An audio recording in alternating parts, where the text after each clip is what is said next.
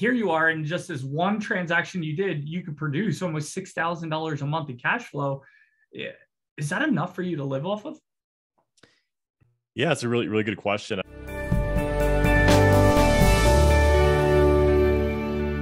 All right, everyone, welcome to today's interview. I'm super excited to have Michael Brockway join us. He is out in the Denver, Colorado area, and his story is pretty exciting. I don't want to be I don't want to be able to share it in the beginning here, but I do want Michael to share his stuff. But Michael, thank you for joining us today and jumping in this interview. Yeah, for sure. I'm happy to be here. Looking forward to it. Awesome. Well, can you tell us like you know, we could live anywhere in the world, right? For everyone that's watching, you could pick anywhere in the world. Why Denver for you? Um, I would say my, the, the biggest selling point of Denver is honestly lifestyle. And for me, in my stage of my life, my journey, it's a perfect place. Um, I used to live in upstate New York. I was working a corporate job for a Goldman Sachs subsidiary, um, working long hours, going through grad schools, getting my, my licenses, my financial services licenses. And I essentially just wanted to, to live a different life. So I packed my stuff. I bought an enclosed trailer. I drove out to Colorado, and that was about eight years ago. And I never looked back. Um, Denver is surprisingly warm. There's a lot, a lot of days of sunshine. Um, there's a lot of startup companies here. There's a big tech presence, and therefore that draws a lot of a lot of talent and a lot of young professionals as well. So, um, outside of just the city and, and all the benefits there, you have the mountains. I'm a big winter sports person. I like to snowboard. I like to backcountry snowmobile, um, and that's that's just um, you really can't replace that. Honestly, that stuff being in my backyard. I think traffic's getting a little bit worse every single year with more people moving here, but I really can't complain. That's awesome. I love boarding. Where's your favorite place to to hit the slopes? Um, I would probably say Beaver Creek. Um, it's just just past Vail, a little bit farther west. Not a lot of people know about it. It's, it's not a you know big destination for for tourists. Mm-hmm. And then second would be Breckenridge, just because I have some friends that live downtown Breckenridge, and it's always cool to see them and ride with them. Yeah, no, I love it. Breckenridge is my number one. We would take uh, trips every couple of years out there just to go nice. because it's just it's beautiful. And then I love doing uh, Keystone at night. The sun sets there, just gorgeous, all through Denver or uh, Colorado too. But mm-hmm. I when I go board at night there, it's just like oh, it's so awesome. Yeah, for sure. Cool. Well, let's give everyone a little bit of your background. You, you already started jumping into it, but tell us where your journey kind of started and how did you get to where you are today and what do you do today? Yeah, good good question. So I I thought that I needed to to go to school and get my master's degree. So I did my MBA with a concentration in finance, and, and via that program, I was I got an internship, which got me a full time job um, at that Goldman subsidiary, and it was great. It was a great learning experience. I did that for about three years, and I don't want to say I was bored, but I just wanted something new, right? So I, I jumped ship. I moved out to Denver um, with no game plan at all, and it took about a month to explore. Um, I hiked some some 14ers, which is which are these. If, for for those that don't know, it's a a, a mountain with a peak that's 14,000 feet high.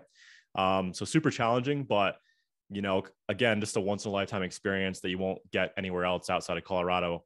Um, so fairly fairly unique here. And then eventually, I was like, okay, I need I need to get a job. I need to produce some income. So I, based on my background, it was just easiest to get a job at another financial firm, which was Fidelity Investments. And there I worked in investment product, learned a lot about um, ETFs and sectors. Um, always had a interest in real estate and always wanted to own a property. Um, so right when I got that job, I started looking for properties in the area, and I closed on my first house, which was a, a house hack before I knew what house hacking was. And from there, I just continued to buy rental properties. I got a few Airbnbs, have one commercial property. And this year, I am looking at larger multifamily properties and also going to be moving into some syndication as well. Oh, so awesome. So, are you still in the financial world or are you full time in real estate at this point? Full full time real estate. I quit that job in, did it for about three years. I quit it in um, right around 20, 2016. And that was when I closed my second property. And this is actually a pretty funny story. Um, a little took a lot of risk here, but I just wanted to to do something else. But I wanted to get another property under my belt. And I closed on my second property my second rental out here the day I left that job. So there wasn't a lot of wiggle room as far as hmm. uh, the mortgage was concerned, but everything worked out. I would never do it again. Um, it was very stressful. And at the time, I had a pretty high risk tolerance, um, but I made it happen and then continued on my journey. Oh, that's so exciting. I love that. I want to back up because you said when you got out to Denver, you, you took an entire like a month to just go out and explore. A mm-hmm. lot of people they would have the mindset like I need the money. I need money. I got to make sure I can provide. I don't want to see my savings drain down. Like what was the mindset for you taking that month off to really enjoy yourself and explore? Yeah, I would, I would say it was definitely monumental for me. Um, I, it was, I would say like towards the second and a half that month, I was like, okay, I'm going to start passively applying for jobs. But for me, I, I was in a new city. I'd never moved outside of New York before. Mm-hmm. And it was just my first opportunity ever to explore and to see what else is out there. Right. Um, and Denver is very diverse because it has a big city. We also have the mountains and a lot of things to explore. And there was just so much that I wanted to see um, that I that I just had to had to had to take the time to go for it. Nice. Um, so I think it was, it was well worth it. I did drain out my savings pretty significantly, but I had some money saved up. And for me, I just put those experiences um, above the the cash or the, the, the monetary side of things. You know, I love that you said that because I always tell people, you know, we're our family and like as we're like mastering life by design, right? It's mm-hmm. like we collect experiences, not things. We do collect things, right, as we go, but experiences and memories are so much more valuable. And I think today's generation is really starting to wake up. They watch their parents and their grandparents work their butt off, and they're mm-hmm. like, I don't want that, you know, and nor do I, nor could we even have that. Like how my grandfather had a pension. He worked at Campbell Soup for 40 years. Wow. Like, that's not happening now, right? But our generation, we see we want free, uh, the freedom, we want the lifestyle. Yeah, I think that's what a lot of people are starting to value. So, yeah, and I think that's amazing for for for those with that mindset. And I'm sure he had a very successful career at Campbell Soup. For me, I could never imagine being in a company like that long term, right? And the the way of the new rich, they're starting to call it like is, is significantly different. It's about experiences, about traveling, it's about really doing those things that that fulfill um, you and just drive you to to be happy. Yeah. And that's that's what this channel is all about is consciously creating the life you want, living life on your terms. And it sounds like you you have. And then once you got to Denver and you started getting settled, you had a bigger vision and you jumped into real estate. Like mm-hmm. what's exciting about real estate? Why why that financial vehicle to create the life that you want? Um, I think there's just a lot of benefits of real estate, right? I mean, I would say that a, a, big point for me personally because of my background being in financial services for six years. Um, I I did a little exercise for myself and looked at my like personal investment allocation or asset allocation, and I have only like five percent of my net worth invested in stocks and bonds and investments, and everything else is in real mm-hmm. estate or syndications or crypto, just alternative asset classes, really. Um, but going back to the the question, I mean, real estate is there's for me it's it's cash flow honestly and it would be number one because cash if it, these assets these these investments are kicking off cash flow that cash flow can fuel my lifestyle and the life i want to live right? So i'm really investing for cash flow. Hmm. um, so any rental property i've ever looked at it had to cash flow um, read at least a thousand bucks. So i did buy one that, that cash flowed about 800 bucks a month and that's very difficult to do in an expensive market. So i have gotten creative on on on how i'm doing that. And it was was easier prior to the last few years. Um, but a sec another strategy i'm looking i have been implementing is converting some of those units to airbnbs which are producing more cash flow a little more legwork there. Um, it's a little more active. But if you get the right systems in place um, you can create less work for yourself but also create more active or you know semi-active income via short-term rentals. And then on top of that it's just a wealth building play right? I mean i have some properties that i mean w- one example is i bought a property um, two years ago and it was super expensive in my mind. It was $900000 for a triplex that i converted to a quad to boost that cash flow. And that property has um, appreciated $400000 over the past two years which is 200k per year which is which is insane in my mind. And I never thought that was going to happen with that property. I was very, um, a little anxious about buying it in the first place, but I was able to make it work by adding that fourth unit. And by taking that risk, adding that fourth unit, getting creative, I created a ton of cash flow for myself as well as some massive appreciation. Um, and with that appreciation, like my game plan is to do a, um, a HELOC and eventually pull that equity out to then redeploy elsewhere into more cash flowing assets. Oh, so much gold right there. And the one thing I want to ask, because a lot of people who might be watching, they might find themselves like, okay, I keep hearing passive income. I mm-hmm. know I think I should step into it. Here you are, you were looking at a deal, and I love your criteria, and we'll talk about that here in a moment. But you had this fear of this triplex you turn into a, a quad. Mm-hmm. What was it that got you over the edge? Like, was there a specific thought or something that really helped you kind of say, you know what, let's move forward, let's let's do this, instead of allowing the fear to consume you and be like, ah, I'm good. Yeah, it's a really good question. I was I was looking at a property that was about I was targeting something around five hundred thousand, maybe four to five hundred thousand, that maybe had um, two units in the main in the house, and then zoning to build an ADU. So I was going for three units, but I'd have to do some construction to get to build that ADU, and that'd be more costs um, and less favorable financing, I would say. But it was just a mindset shift, honestly, and a just maybe being a little bit being able to stomach that risk. And I think those two things go go hand in hand. I mean, if you have the right mindset, it's not as risky. As long as you run your numbers and you have your plan B and your plan C, um, which comes with having the right mindset, it became I was able to stomach that that um that investment that that play. But I would say before I stepped foot in the property, before a friend of mine who's a broker found the deal actually off market, um, I was not in the right mindset to, and I did not have the appetite to purchase it. But once I ran the numbers, thought about it, thought about how to get creative with the deal, and um, started digging into it, I was I was not um, did not have the appetite again. But that I, I went for it and took that risk. Nice. So really, the numbers and seeing what was possible and how it met your criteria, maybe even but beyond, was what really helped you. Yeah, yeah, definitely. And, and that was definitely a personal draw to the property as well. Um, I was living in a in one of my units in a duplex that I owned, and I wanted to get out of that neighborhood into a nicer neighborhood. And that was a lifestyle thing, right? I mean, the neighborhood I was in was very close to um, downtown Denver, the RiNo area, River North Art, Art District, it's called, um, the, the Highlands, but I was not in a nice neighborhood, I'll say that. Um, it's definitely not a neighborhood that you would want like your daughters living in. so for me, you know, I'm I'm a I'm a young single guy. Um, I just want to be in a nicer area. So I actually moved into one of the units in this in this triplex, and I live in I moved into the nicest unit. It's it was 2,500 square feet.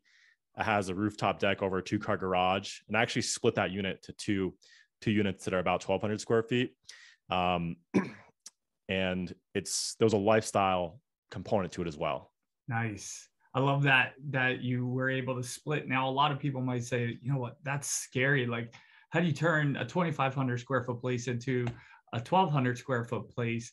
And so they might be a little nervous to do that. But if you go, and you don't have to share exact numbers, but like, what's rough numbers when someone does something like that? Like, why is mm-hmm. that beneficial for them to be able to grow their wealth, grow their cash flow, so that they can have the freedom that they're looking for? Yeah, yeah, super good question. Um, so prior to dividing up the units, there were some tenants in place when I bought the property. I believe they were paying about three thousand bucks total for the entire space, the single unit that was that was twenty five hundred square feet. Um, and by so I could have totally moved in, utilized the full space, and that unit in itself wouldn't have cash flowed anything for me, right? The other two units um, that were occupied would continue to cre- create create revenue. Um, but my mindset was hey like i want to make this work i want to take this risk so and i don't really need 2500 square feet right, right. so i put about i'd say i went i went pretty hard on this uh, property as far as remodel goes but i would say i probably put you know $40000 into a new kitchen downstairs a separate hvac system in the upstairs unit and downstairs unit, which which, which brought it from just heat via a boiler to central air upstairs, central air downstairs. um, mm-hmm. just so both units were very comfortable. And it was well worth the investment. Um, so if I were to say I wasn't living upstairs and I rented the two units out separately, I could I could definitely get um, two thousand dollars each. So then I'm boosting my cash flow from three thousand to four thousand for two units, right? So I'm creating a thousand bucks extra per month, mm. and in my mind, that's well worth it. And I, how, how, I'm renting out the downstairs, I actually have um, it's a three bedroom, one bath, and I'm, I'm renting out per room to young professionals to, to boost the cash flow even more. And each person downstairs is paying 900 per room, plus um, utilities as well. We split utilities, so arguably I'm getting close to three thousand um, dollars for that one unit. And if I were to put my upstairs unit on Airbnb or get creative with it as well, I could probably get three thousand dollars in my, in my my upstairs unit, and then instead of four thousand, I would be collecting six thousand, right? So I'm doubling the cash flow from three thousand to six thousand in that scenario. Wow. Guys, if you're watching this and your head's spinning because of all these numbers, go back, watch this again. But literally, you know, his thought process is about how to maximize his cash flow. And my guess is, and you can correct me if I'm wrong, you did your homework before you started to execute on all this, right? Before you started to do the $40,000 remodel, you ran the numbers, right? You weren't just like, hey, yeah, let's go do this and hope it works out, right? You ran the yeah. numbers, correct? Yeah, definitely. And because I have other properties in the Denver metro area, I knew what um, I knew what what things were rented out for roughly. Um, I, I, used some data as well, um, just some basic tools. I think it, it, was like Rentometer was one of the tools I used at the time, just to see what it would um, demand on a long term lease versus um, room by room versus short term rental.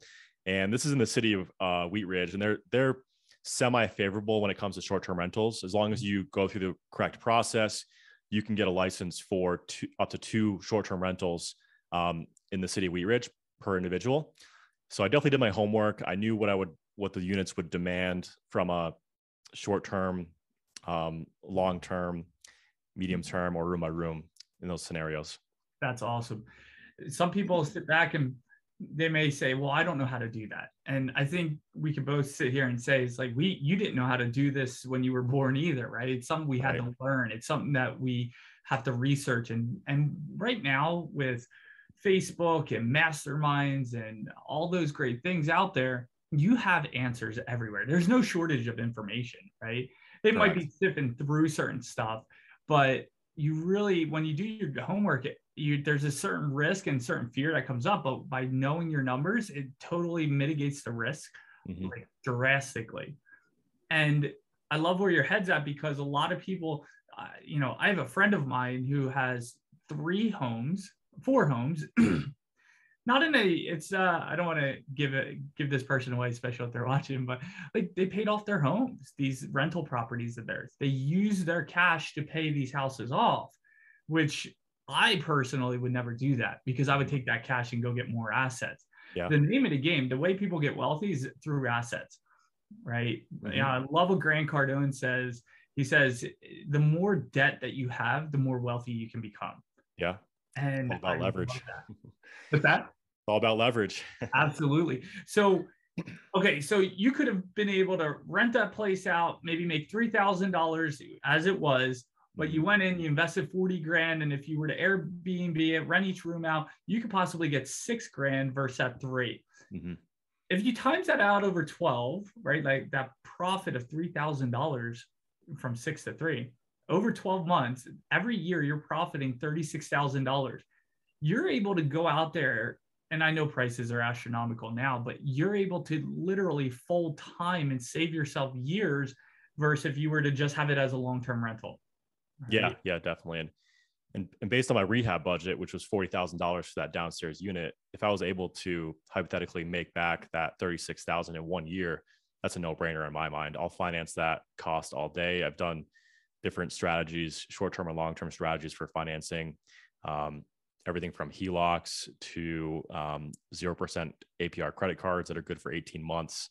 So if you if you if you get scrappy and you are creative, you can make things happen for yourself. And I wanted to also reinforce a point you made earlier about it is when you are starting up, it is hard to wrap your head around these things. But but I would say it's not only are the resources out there, but in my opinion, it's information overload these days. I mean, it's like, okay, who do I listen to? What calculators do I use? What what spreadsheets? Um, what STR Facebook group do I want to be a part of? Because there's so many options out there. I mean, if people want to take initiative to do this and truly impact their lives, that the stuff is out there. You just need to create the time and make it a priority to do so. All right. So great point. So we got a working professional. They're working their nine to five. They're making great money, but they realize, you know what? I don't want to do this for 30 years. Mm-hmm. Not like the company would let you be there for 30 years, but if you had to get started all over, where would you recommend someone starts? Like, what are some resources that they could start plugging into to learn and get educated? What are your favorites? Um, as far as resources go, I'd say masterminds are great. Um, you and I are both part of GoBundance. Yeah, share, share with everyone what GoBundance is and, and qualifications and all that. Yeah, yeah, for sure. So I I have heard about I had heard about GoBundance in the past through a friend of mine, um, Craig Curelop. He's a bigger pockets guy, and he was talking about. It. I'm like, oh wow, like you're in GoBundance. I thought that was something for like the uber wealthy or like billionaires, right? Yeah. And he, him and I started talking about it, and he's like, no, man, as long as you have a net worth of a million dollars, which, you know, can include real estate, um, business, a business, cash investments, um, as long as you're at that a certain level, as far as your, your net worth goes, you can join GoBundance. And the, the, the term they use is a tribe of millionaires. And it just comes back to the, the principle that, that no one will argue with, in which is the fact that you are your tribe. You are who you surround yourself with, right? And that's why mentorship um, and masterminds and just surrounding yourself with high caliber people is so important. That's awesome. I, and if you, guys, if you listen to Audible, I highly suggest listening to the book Tribe of Millionaires, right? That's mm-hmm. such a great book that the creators um, wrote. And one thing I, one thing I always I remembered was like as I started my financial journey, when I got out of the Marine Corps at 23, I got involved in Amway and I thought that was the way to become wealthy, right? Some do. Mm-hmm. Um, but after about five years, I started going down a different path. But I always remembered, I was like, I want to be, you know, the goal is to become a millionaire, right? Yeah. And and I say this the most humbling way. It's like joining Go Abundance, I didn't even realize that we crossed the seven figure path. Right. And right. so as I started to look back, I'm like, becoming a millionaire isn't really that hard, right? Mm-hmm. It just takes a difference. You have to think differently than trading time for money, right? And if you guys have never heard of the book Rich Dad Poor Dad, that would be a great spot to start listening and about passive income and um, the different quadrants out there. I, I love that book. And actually, my uh, one of the masterminds I'm in, the guy, his name is Tom Burns. He actually bought the first copy ever of Rich Dad Poor Dad at a at a uh, car wash. Wow. and he was in Amway. And so he started giving it to his downlines. And then mm-hmm. he tried, he, he was like, I got to get this in the system of Amway. And so he called the publishers, like, who's this Robert Kiyosaki guy? I want to be able to do this. And then so he started, it started blowing up through Amway. And then Oprah caught wind of it. And Robert became Robert. But, um, and then Robert told, Tom Burns to write a book called Rich Dad, or excuse me, um, Why Doctors Don't Get Rich. And I have the book right here and um and Robert had him give that title and he finally wrote the book. So they're good friends but That's awesome. um, and he's also part of GoBundance too. Right right. Good stuff man. Love it. Yeah. so okay. So getting back to we were talking about the long-term you know long-term rentals as a you know way to create wealth and how that really takes years. Even if you bought one a year you would dress it would take you know almost a decade to even get to close to financial freedom depending on your criteria yeah. for how much cash flow you want to have. But here you are, and just as one transaction you did, you could produce almost six thousand dollars a month in cash flow. Is that enough for you to live off of? Yeah, it's a really really good question. I, I think this this goes hand in hand with the, the the desire for people out there to become a millionaire, right? Um, it's it sounds like it's like the end goal, and at least that was my mindset. But once I realized that I was there, and I had that net worth, I was like, okay, what's next? And mm-hmm. to answer your question, you know, I could totally live off of six thousand dollars a month if I wanted to, right? It really depends what your priorities are, where you want to live, um, if you have a property or an asset or a house that um, you are house hacking or living in one unit like this quad, um, and the other, the other units pay your expenses, your your expenses are very low. Um, everything else beyond that is fairly discretionary. Um, but my my end goal was about ten thousand dollars a month passive, mm-hmm. and depending on what you quantify as totally passive, I'm I'm right there right now but now I have new goals and now I'm setting setting new new higher standards for myself. Um, if I want to go out and buy a property in Hawaii where I have a lot of family um, and and live there once I'm semi-retired and just focusing on giving back and coaching, then I can do that. But but properties in Hawaii are very expensive, right? So now I have new goals and just because I want to live a, a, a pretty pretty solid life um, once I re- retire at 40 is my game plan. Um, I need to create more passive income to fund those those those hopes and dreams of mine. Um, and I also want a quick point too is I I think of this as a you know it's it's a faucet. You can turn on the water as high as you want or or mm-hmm. just let it be trickling, right? And depending on your situation, you can only go so far, right? If you're if you're married with a couple kids, I mean, you're not going to go live in a house hack and, and live in one bedroom, right? you need to utilize a duplex, a triplex, or a quadplex. You can have your own unit for your family, or you maybe don't even want to move into your rental properties, right? Maybe you just keep your primary home and you let your rental properties fuel or pay for your your expensive. So it really depends on your situation, but I think anyone can at least take steps and go in the right direction and figure out what's right for them along the way. Can you explain to the audience what house hacking is? Some people might have picked up on it from what you're saying, but I just want to clarify it for everyone. Yeah, yeah, really good question. Um, so if you're interested in house hacking, definitely re- check out the book on house hacking by Bigger Pockets. My friend Craig, who I mentioned, he wrote that book while he was there. But house hacking is essentially buying a property and living in one portion of it. So you could buy a single family house and live in one bedroom and rent the other rooms out to young professionals is what my my strategy was. Um, and I just wanted to have good tenants and tenants that I that I would get along with because I was sharing space with them. Or you can take that that that approach to the next level, which is you buy a four unit property and you live in one unit versus one bedroom and you rent the rest out. Mm-hmm. And the, mm. the hypothetical game plan there is by renting out the other portions of that property, whether it be bedrooms or units, um, or putting putting like the basement maybe on Airbnb or a mother-in-law unit on Airbnb. By by doing so, you cover your living expenses and you essentially live for free, or you can even profit um, while living for free, depending on the numbers on that property. Oh, that's so awesome. I remember when I lived in San Diego, I rented out a house. I didn't own it. I wish I did. Um, but I literally lived in a master bedroom, but I had like five other people living with me, and I was paying like 300 bucks a month in San Diego for the mess. Nice. But uh, I wish I owned it. I wish I would have known what house hacking was, right? Right. how cool is it that and the benefits of house hacking isn't just maybe make a profit and pay off you your your uh, you don't have to have living expenses, right?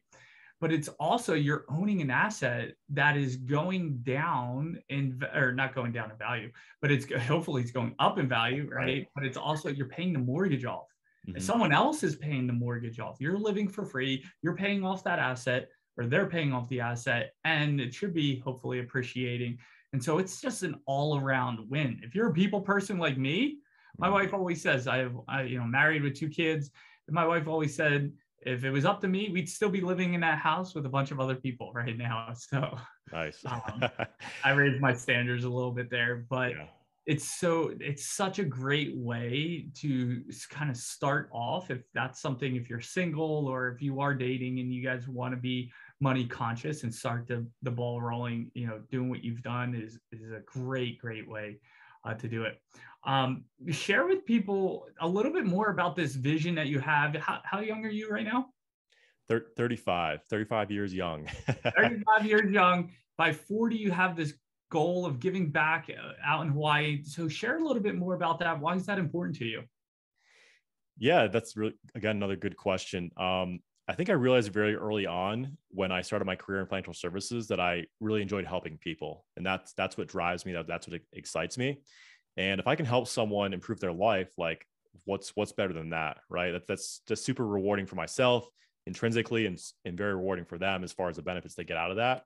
Um, and I'm even I'm even doing this now. Right now, I'm helping those that want to get and get into real estate from an active standpoint or even a passive standpoint. Mm. Um, so I'm doing a little bit of coaching, mostly for friends in my small circle, but it's extremely rewarding to me. I, I like helping people. If I can help them buy their first property, be a little more efficient in buying that property, buying the right property that fits their their goals and their needs, that's going to produce the, the most benefit to them. That that makes me that makes me happy. So long term, I'd like to just do that um, and not be working on active real estate deals like that um, triplex I mentioned that took a lot of work, or some of the, the past properties that I that I flipped um, or had to do a lot of rehab on to, to turn them into rentals or Airbnbs. Um, but eventually, I'd just like to maybe work 20 hours a week, um, staying in touch with with my my close friends and my network that I've grown, and also helping others who want to create financial freedom, which fuels you know a, a lifestyle that you can design and you can decide you know where you want to be, what you want to do, and when you want to do it. That's amazing.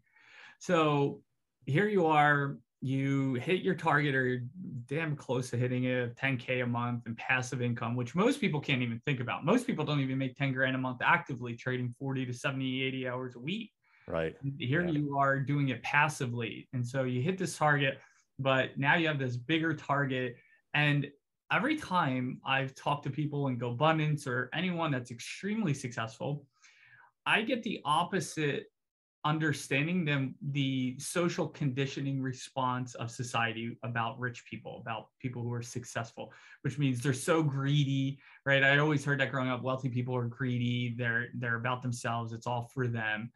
But the more people i get to connect with like people like you their vision is more their bigger and greater vision is about turning around and helping a hand you know to those that are on that path or want to be on that path and they they want to give back more right? So it's actually the opposite of what i've heard growing up. I've seen very few people who are that stereotypical you know social conditioning of a rich person right? It's like usually they're they're humble they're they're passionate about what they do they want to create something bigger and they want to give back and that's a lot of the big things and um, yeah.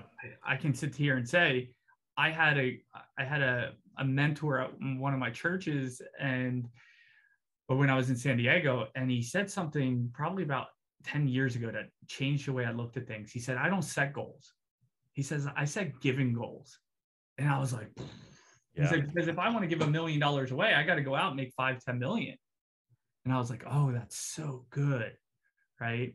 So I, I found that to be true. And I love what you, your vision um, of what you want to do and how you want to give back and how you want to help people. I just, that's so awesome. It shows your heart, which is so cool. Yeah, I, I think it's a great, great takeaway. I mean, I've, I've definitely can think of some folks or contacts of mine that were, that were solid mentors to me. And I think about them like, not just on a daily basis, but all the time. I mean, I'm like, okay, like if I, if I didn't get this advice from, you know, some, some, when I was younger from, from so-and-so, you know, where would I be today? If I didn't get this, you know, person helping me reach that next level or, or at least being a support network for myself, like I would not would be where I'm at today and i can i can definitely see that perception of of wealthy people being being selfish but it's you have to help yourself before you can help others and if you're not in a position to to give back there's no way you're going to be able to help others get to where you're at and, and where you hit hit those goals you've achieved yourself yeah yeah it's so true it's like we always hear put your oxygen mask on first when you're on the plane right before you help others and so many people i've seen so many great amazing people. I even have family members like this. They they're so generous and they give and they give and they give, but they give at the expense and the sacrifice of themselves. And so I don't consider that, you know, self-love when you sacrifice yourself. Right. I really think that's incongruent um, with the mission that you're actually taking action on because you got to fill your cup first. It's hard yeah. to fill someone else's if your cup's not filled first. So um, I love that. So here you are, you got these great goals, you're hitting them, you've created this great lifestyle. So everyone that's watching is probably like, yeah, that's great, but what are some of the struggles that you go through? Was it just like this smooth, you know, easy, you just you get a property, get another one, and you're doing great? what were some of the big struggles for you that you experienced on the journey so that other people, if they hit them, they know that's just a stepping stone on the path to success? Yeah, really, really good question. Again, I'm I would say the first one that I can think back on, well, one when I was when I was in my working my W two job and and you know essentially a corporate slave, I just wasn't happy. Uh, I wasn't it wasn't fulfilling. Um, it was a grind and that impacts your performance right if you're not if you're not happy and you're not fulfilled you're not going to, going to perform well or at least perform to your fullest ability mm-hmm. and that's why i needed to get out of that corporate job and then once i got myself out of the the corporate environment. The next i guess struggle i had was was a big identity crisis.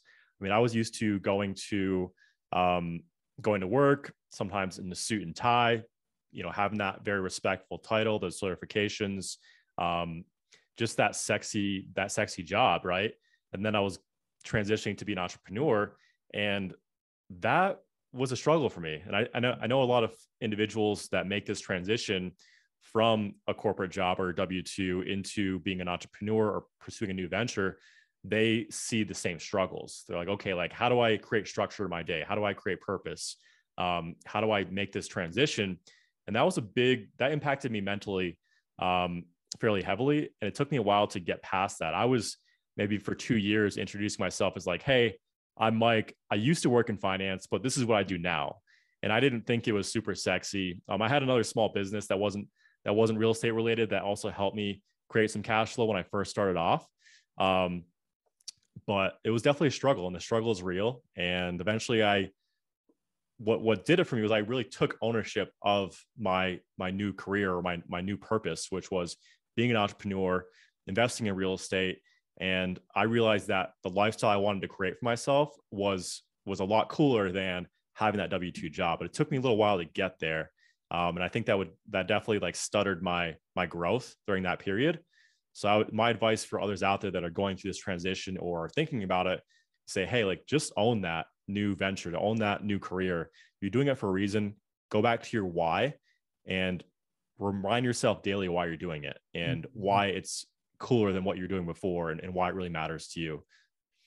That's awesome. You said you, you hit the nail right on the head because I've coached a lot of people who transition from one career path to another or into graduate into entrepreneurship, which mm-hmm. isn't easy, right?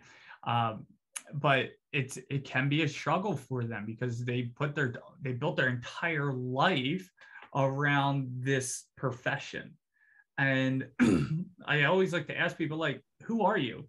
And they tell me their job title versus who they are, right? And the, the characteristics and their values of who they are. It's completely different. And yeah. so when you get your value not from the external, right, like a job title, and get it from the internal, it's so it makes life so much more fun and you're way more confident in who you are. And so I I'm sure there's people who do have a job that are listening. I got to ask the day after, or maybe it was that Monday after you left your job for good. What was that experience like when you woke up and you didn't have to go to your job? it was a little scary to be honest. I mean, there's a lot of fear that's that that comes with making this transition. Mm. Um, but I really essentially my backup plan was to get another job, right? You can always get another job. Like, what's the worst case scenario if you quit your job, you take the time to pursue your new venture or your go to, go down that road with your for your new journey? You can always go back. You can always reapply for a new job with, a new company. Uh, maybe try, try to find some part time work, right? There's always that plan B. But from and I and I definitely thought about it, but I was honestly just too busy to think about it too much, right? So I, I put myself in a situation where um, I had to, I guess, getting specific, I was, I just had moved into the duplex I'd purchased and it, it needed a little work. And I, I had to, you know, at the, at the time I was trying to keep my cash, I was trying to save money. I put low money down into that property and I, I definitely put some sweat equity into it as well. And I, I, it was my new job to get that property to a place where I could rent out that second unit and have that that new tenant pay for a majority of the the fixed expenses on that property um, and then beyond that i i just had no other choice and I, I did not want to go back to those days where i felt um, empty and I had to complete heavy tasks. I actually have a picture of myself, a selfie that I took when I was sitting at my desk one day, just tired and miserable. And I just looked back at that photo occasionally and I reminded myself, like, hey, this is not the person I want to be. Mm-hmm. And I mm-hmm. never want to feel that way again. Yeah. Sometimes pain's a great motivator, isn't it? Like to keep you, you know, to get you moving and keep you on your path. That's awesome. I remember when I left my corporate job and I woke up the next day, I was excited, but I felt lost because it was just like, that's what I did, right? For so long. Mm-hmm. And it was just like, what do I do now? Right. Like, and so I was in network marketing at the time and going to school. So um, that kind of kept me a little bit busy. But I totally understand what you're saying because you think about in the back of your mind, like, what if? And that thought's going to be there, right? Like, in the beginning when you step into entrepreneurship like it's not a smooth ride to the top it, it's if anything it has its ups and downs right mm-hmm. and so you're the biggest thing you when you step into entrepreneurship is to really be able to master your thoughts because otherwise it can consume you and allow you to fall into this trap of fear. And once fear gets kind of multiplying all of a sudden it consumes you. You're you're just thinking all right maybe i need to apply right? Or maybe this isn't my path and you start questioning and doubting yourself. And you know so having that cue that trigger like you have that picture of you at your at your job it's like no no no no that can help break that pattern a thought pattern of fear so yeah. i absolutely i love that awesome man um okay so um I I'll ask this question first. What has been the most impactful book for you? Um, there's a couple that come to mind, and one of these is goes alongside like one of the struggles I potentially um, or I, I faced a lot throughout my journey is the book's called Who Not How, and you can only go so far solo until you can't scale or can't be productive enough to continue to scale and grow. Um, so it's really it's really just the, the the the message there is who what tasks are you the best at what do you want to keep doing and then you have to outsource the rest mm. and you really can't grow and scale without other people or systems in place and that was a big game changer for me um, so having you know i don't have any for my real estate business i don't have any w2 employees but i have a lot of good partners right you think about what goes into running a successful, um, I guess, real estate investment company, you need contractors, you need cleaners, you need property management. Um, I've explored using VAs for certain things. Um, and you also need partners that are other real estate investors, right? That bring a different skill set to the table. Maybe they're underwriting properties for you, or they're helping you fund deals. Um, I think Brandon Turner says this really well you know, real estate investing is a triangle. And I can't even think of like the three parts of the triangle right now on the spot, but you only need to be good at, you know, a couple of those things and you can always partner to reach that next level mm.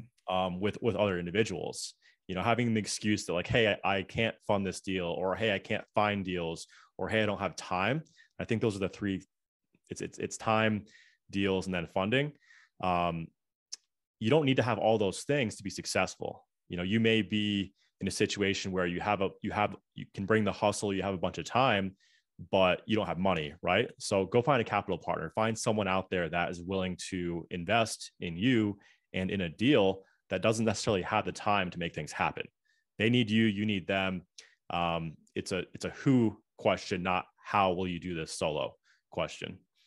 That's such a good answer such a good answer and that's the biggest problem for a lot of people that i coach is they actually find it difficult to leverage other people they live in the in the real estate language the do it yourself world right but they think they have to do it no one can do it better than them and mm-hmm. what that does that thought literally robs them of time and money right and yeah. lifestyle and fulfillment right just like you, if you would have just rented that place out for three grand a month, you would have to go pay rent somewhere else, and you would have had maybe a thousand dollars a month in cash flow versus the six grand that you could pull for it now. Mm-hmm. So that's such a such a key point. Who's one person that you really look up to and why? Man, really good question. Um, I don't know if I can really pick one person. Um, really good question. Um, I don't want to be super cliche and say someone that everyone everyone knows really well. Um, but I would I would say just to bring it bring it back home, I'm gonna say my my grandfather. Um, mm. He passed away a few years ago, and he was just a super hard worker.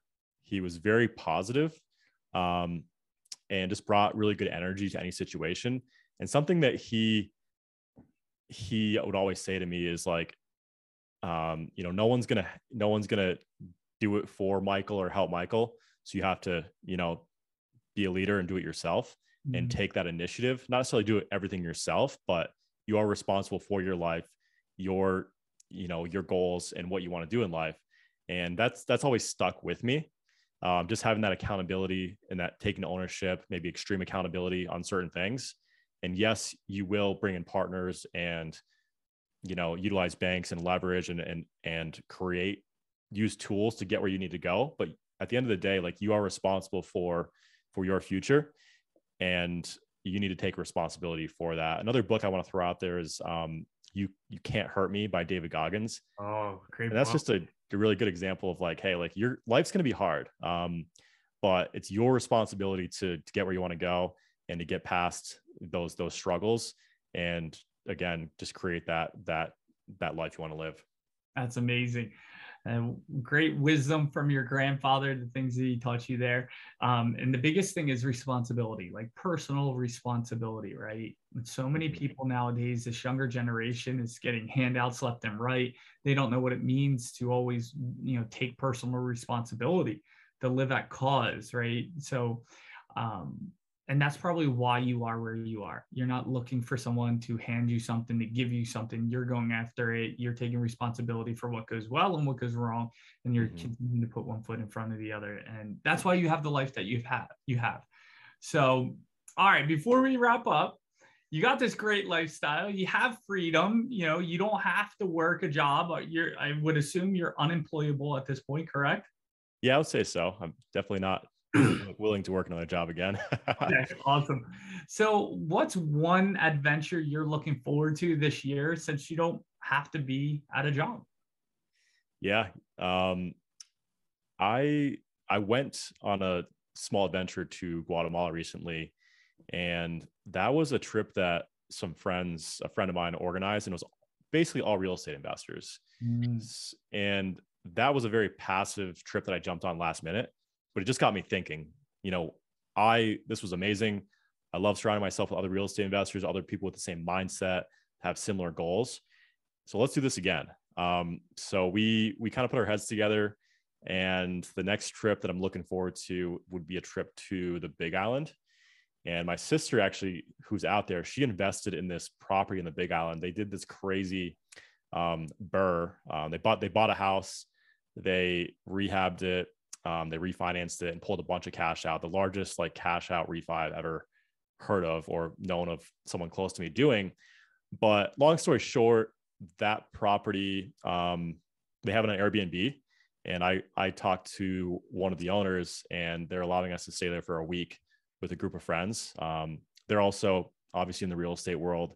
So we're going to take the opportunity. I'm going to bring some friends of mine that are doing big things in real estate um, to go out there for a week and have fun, but also organically mastermind at the same time, surrounding yourself again with good people, um, doing fun things, going on epic adventures. I love hiking and being on the water as well when I'm in Hawaii. So I'm looking forward to doing some pretty um, epic waterfall hikes. On um, the Big Island, there's a ton of area to explore versus Oahu. I feel like I've hit all the major hikes there already. So yeah. I'm looking forward to getting out there and just doing some exploring and just living in a really cool um, the property appraised for about 10 million after the fact. So it's a very high end property with an infinity pool and a hot tub and a ton of space. Um, so i'm just looking forward to being there in a great place with good people. That's amazing Well, definitely have to post some pictures there and share those with uh, with the community, which is awesome. Um, very cool. I love the Big Island. Uh, I'm not like I, I think I shared this with you. I'm not a big fan of lava rock, but I love the Big Island because my favorite place is in Kona, and it's called Lava Lava. Okay. And it's uh, this cute little like barish restaurant right on the beach, and I know there's a ton of them. Mm-hmm. Um, but it's so cool because like there's stray cats that like walk around, and you know it's so fun watching the sunsets with the, the water and it's just magical. So I know what you mean, but hey, a high-end $10 million property with an infinity pool, I guess that's not bad too. no, can't complain at all. that's the life that you created. You created this life by design, and that's what is so exciting. And so I just want to say thank you, Michael, for being on the show. Um, before we wrap up, tell people where can they find you if they want to, you know, follow you or learn more about you or real estate, whatever that might be. Yeah, for sure. I'm, ha- I'm happy to to chat or help anyone I can. Um, on Instagram, my my handle is m brockway 120. So my first initial last name 120. And then my email is mike at switchbackholdings.com. Also on Facebook and LinkedIn under Mike Brockway. Excellent. And we'll put that in the show notes for you guys. Uh, so if you want to get in touch with him, you can or follow him uh, and his awesome journey. Maybe see those pictures of that great infinity pool he'll be hitting later this year. But Michael, thank you for joining us today. There's so much more we could cover. Um, we'll have to have you back again, and especially after that adventure. But I just want to say thank you for sharing all your wisdom and how you've created this life by design for you. And we look forward to connecting with you more. Yeah. Thanks, Joe. My pleasure. Okay. All right. See you guys.